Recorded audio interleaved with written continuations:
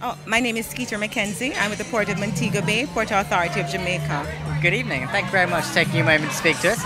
Congratulations on your victory at the World Travel Awards this evening. How does it feel to have won? It feels exciting. It's our second time in a row, and it just proves that the hard work, hard work is paying off. And we're super excited. We're looking forward to more awards like these. Uh, the cruise sector, obviously, a very important uh, part of the offering here in Jamaica. Do you think the trophy and the title will help you welcome more guests to the destination? We're hoping so, and we are really working hard to improve our facilities. We're extending the port now, and um, we're looking forward to having guests from other areas that we don't usually have guests coming from other markets. So, you know, we're really hoping to be top of, top of the pile again. Congratulations, and I appreciate your time. Thank you. Thank you. Thank you so much.